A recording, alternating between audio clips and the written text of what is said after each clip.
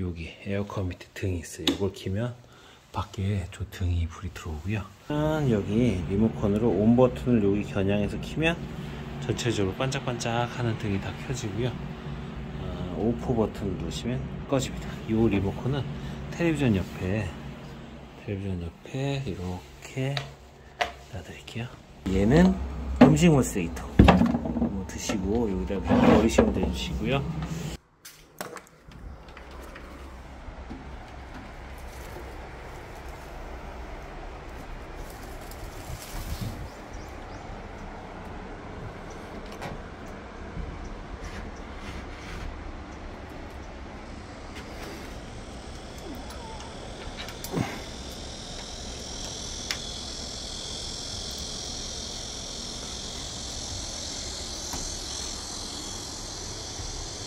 빔 프로젝트 먼저 사용 안내해 드리면 일단은 어, 리모컨으로 리모컨으로 전원 버튼을 한번 누르시면 이 스타박스가 녹색 불로 바뀌어요.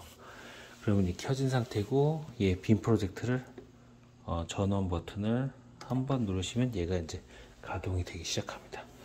그러시고 어, 오디오는 얘 이제 오디오는 얘 소리는 얘를 통해서 나오는데 얘가 좀 까다로운 게 일반적인 버튼하고 달라서 좀 당기고 좀 시간이 지나야지 불이 들어와요. 네. 그리고 불이 옥수로 돼 있어야지 옥수로 해서 얘랑 연결돼 있어서 소리가 나고 여기 밑에 넷플릭스 버튼이 있어요. 어, 이걸 누르시면 이제 얘가 넷플릭스가 가동이 됩니다. 넷플릭스 계정이 넣어져 있는 상태이기 때문에 그냥 편하게 보시면 되시고요. 어, 전체적으로 이제 밖이 너무 환해서 저희가 안시가 어, 밝, 되게 좀 밝은 쪽으로 빔 프로젝트 설치했는데 그래도 이제 낮 같은 경우에는 이 불빛이 되게 세서 어, 화면이 안 보일 수 있어요. 그럼